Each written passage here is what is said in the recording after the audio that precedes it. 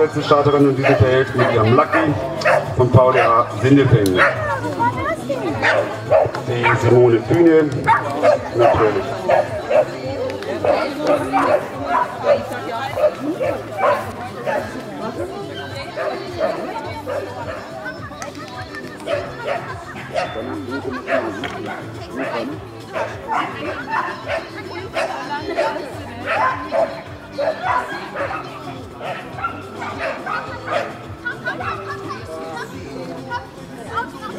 Yeah,